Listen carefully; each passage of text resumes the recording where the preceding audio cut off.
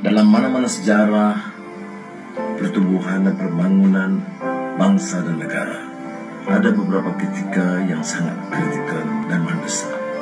Dalam pilihan raya umum kali ini, saya percaya rakyat harus bangkit untuk menentukan arah tuju pembangunan masa depan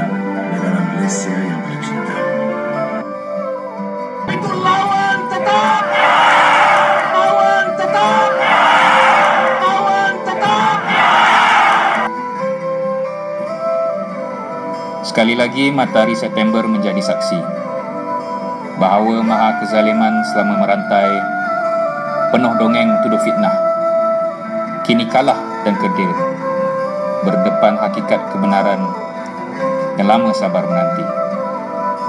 Walau kemarin dilontar seribu keji dayus, walau kemarin dicabar seribu hela rakus, namun wiraku terus kekal, terbukti dan terbilang, simbol kebangkitan harapan satu dalam seribu.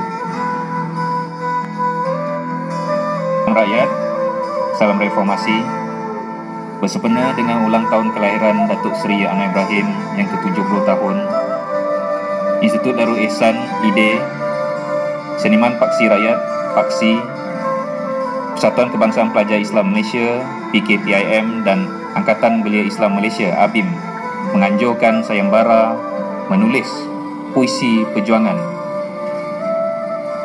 dijemput semua warga negara Malaysia untuk menyertai sayembara menulis puisi bersempena 70 tahun ulang tahun kelahiran Datuk Seri Anwar Ibrahim ini. Sayembara ini adalah untuk menggalakkan semangat perjuangan ke arah kehidupan yang lebih harmoni, adil, maju dan sejahtera. Sayembara ini juga berhasrat untuk merangsang imajinasi dan menggalakkan kreativiti di samping melestarikan karya puisi Melayu moden atau tradisional.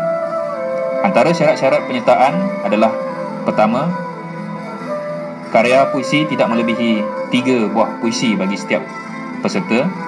Kedua, sebarang bentuk puisi Melayu moden atau puisi Melayu tradisional seperti pantun, syair, gurindam, seloka yang ditulis perlulah dalam bahasa Melayu. Ketiga, karya puisi itu haruslah asli dan belum pernah disiarkan atau diterbitkan. Dan keempat, panjang puisi tidak melebihi 60 baris. Hadiah yang ditawarkan adalah tempat pertama sebanyak RM1,000 wang tunai, tempat kedua RM500 wang tunai, tempat ketiga RM250 wang tunai dan seterusnya 10 hadiah penghargaan yang bernilai RM100. Selain itu, karya-karya lain yang layak akan diberi sijil penghargaan. Sosokmu pernah didera hingga engkau hampir hilang upaya.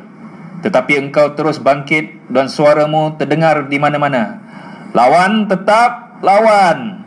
Kerana betapa kami hayati persainan keramat itu masih bergema segar nadi juang dan nada amanahmu. Kalau takut dengan risiko, jangan bicara soal perjuangan.